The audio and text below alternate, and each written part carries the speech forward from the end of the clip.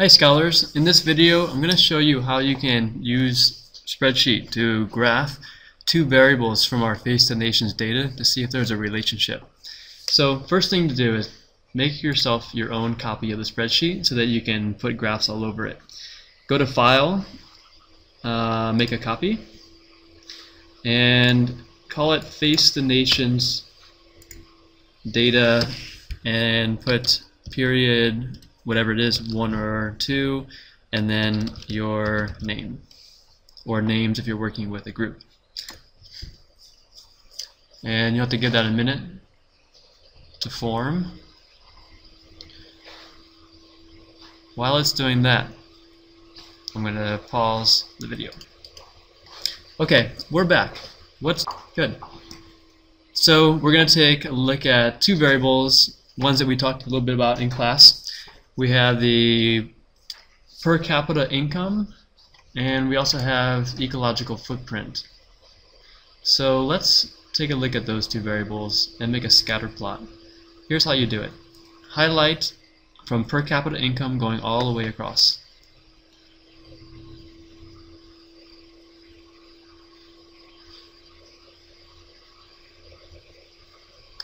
There we go. Then go to the insert chart icon or you can go to the insert drop down menu and click chart. First thing is to add a range. So click there, add a range, now highlight eco footprint going all the way across.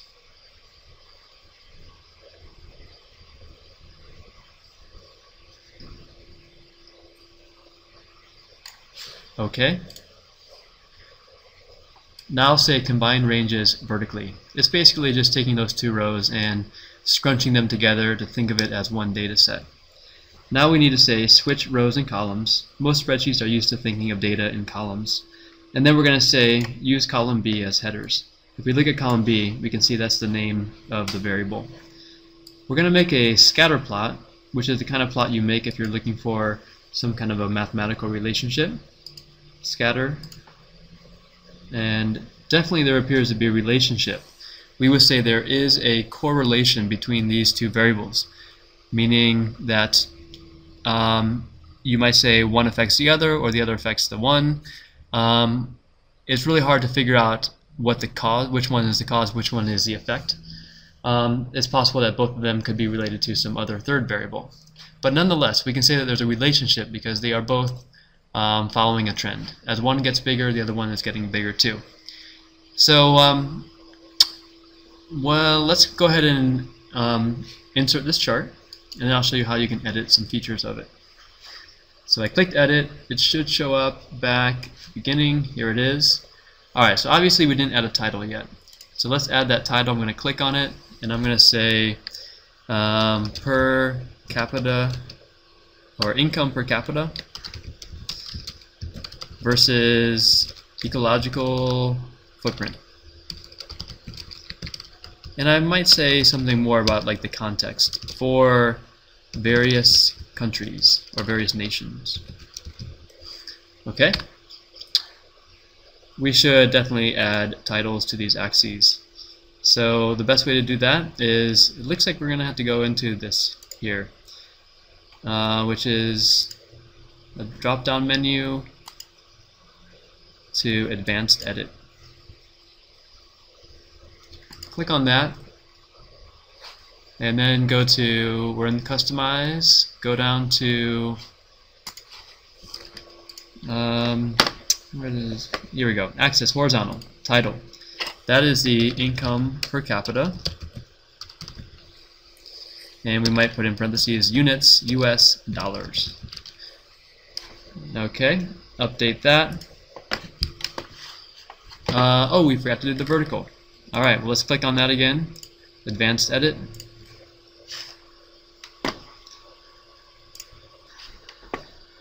Here it is.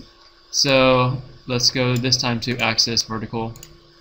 And this time we're going to type in ecological footprint. And the, the units are going to be hectares. And update. Okay, uh, that's it. This graph is ready for publication. What you can do now is you can take this and go to copy chart. And then you should be able to go into this link that I gave you for the write-up template.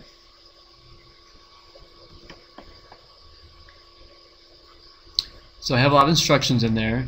You have a data section where you will put in your graph and hopefully we can go to edit paste or web clipboard. Here it is income per capita. And voila there it is. If you want to make any changes to it you have to go back to the spreadsheet make your changes and recopy and paste it. So we can see that basically the data is going in a line we would call that, because it has a positive slope, we would call that a positive correlation. If the data were clumped in a negative slope, we would call that a negative correlation. And if it was a flat line, we would basically say that there is zero correlation. In other words, as one variable is changing, it's really not affecting the other variable. And if your data is just all over the map, completely random, again, we would say that there is no correlation. How tightly the data forms a line makes the difference between what we would call high correlation versus low correlation. Uh, lower, this is, I would say, kind of medium correlation. Uh, perfectly, perfect correlation would be that you have all these data points in a perfect line. And um, obviously we're not there. There is, a there is a statistical way of doing a measurement where you get a number called the, um, the regression value, and that would actually tell you quantitatively how close the data are to forming a line. But that's you'll get into that when you take stats. Okay, I think I'm going to stop here. Ask me in class if you have any questions.